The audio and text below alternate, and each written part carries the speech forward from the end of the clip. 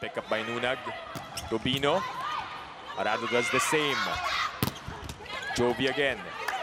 Perez goes middle. Players scrambling for the ball. And a chance here for PLDT. Basang-basa ni Nunag. Here comes Royce. Jaws at the net. So these players not letting the ball. Nakailang attempts na rin siya. In attacking.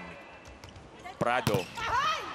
And the blocking has been a problem for PLDT. The blocking of Army, that is.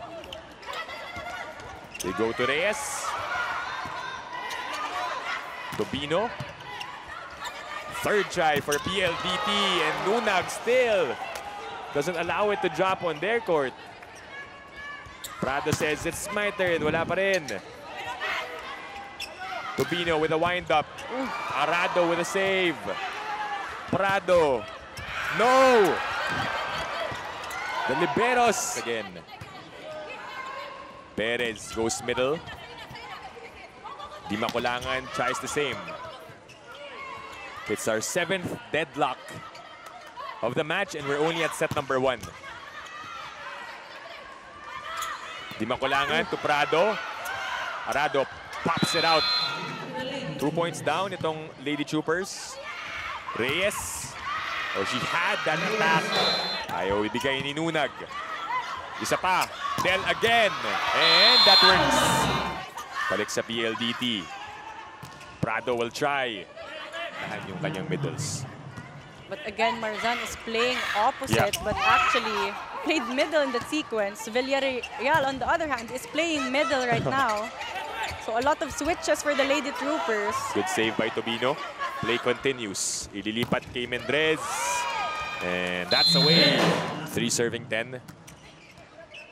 Di makulangan, goes to Reyes. Second try for PLDT. They swing it to Morente, who scores. Picked up by Ivy. Nunag will send it to Paran. Audrey. Oh, Marzan unable to take advantage. Oh. Where will they go to? Palomata! Balik sa PLDT. This time Mendrez. Saved by Tobino, but Bautista and Perez. D-Mac back sets Santos from the back. It's kept alive by Army. The push. And resetting what they know about themselves. And one of the most instrumental mainstays of PLDT, Mika Magic mm-hmm. Reyes. From the bench talking about Villarreal. So, medyo late na rin siya pinasok dito ni Coach Randy Fallorina. Serve 5 to 7. D-Mac goes middle to Reyes. Again, Arado getting a touch. Gonzalez. One-two play does not work. But D-Mac shows how it's done. Scores here in this match. And so far, she's been delivering for the Lady Troopers. Gonzalez sets up the play. D-Mac to Mendrez. And she continues to score. Denied. Third try. PLDT's turn to attack. Santos. Yes! Malaluan with a heads-up play. Arado. Back to Jovi. Here with me is the legendary Kat Arado of the PLDT High Speed Hitters, formerly one of the best liberos. And Kat, congratulations nga pala.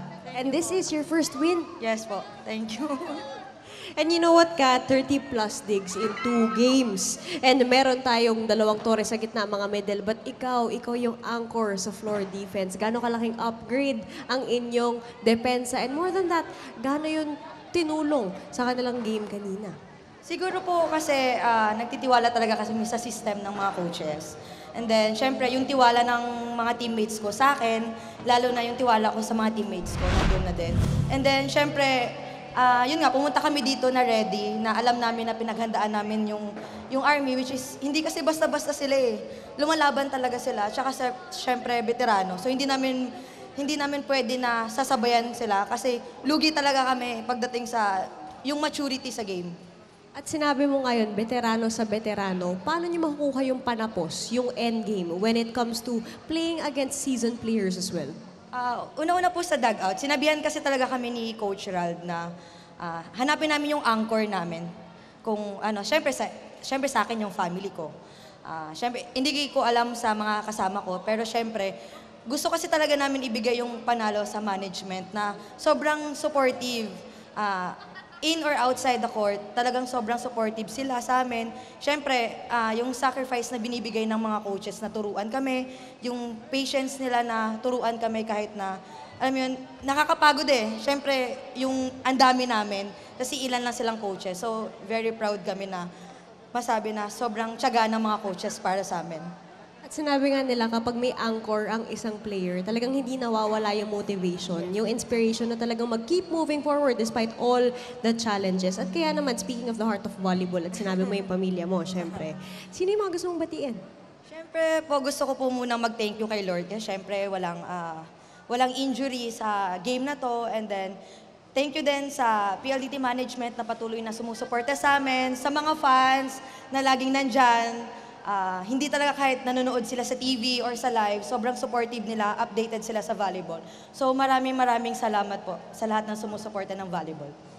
Thank you very much, Kat, and to the rest of the PLDT high-speed hitters. And the heart of volleyball, as Kat said, continues to beat this Saturday.